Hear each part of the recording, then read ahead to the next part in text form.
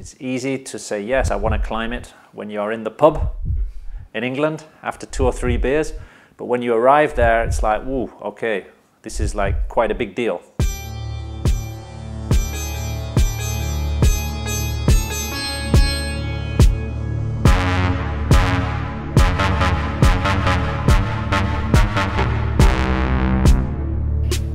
faire quelque chose qui est au-dessus de notre niveau.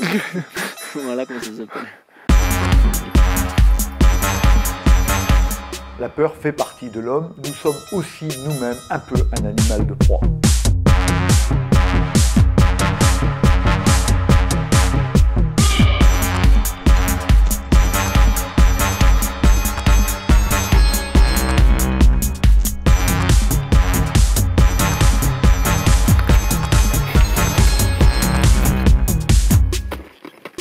50% que ça puisse passer, mais euh, qu'on puisse y arriver, euh, peut-être moins. and a small avalanche came and just took him away. Et en fait, ce sommet, euh, il, attire les, il attire les meilleurs parce que visiblement, c'est aussi une image de, de- de l'impossible.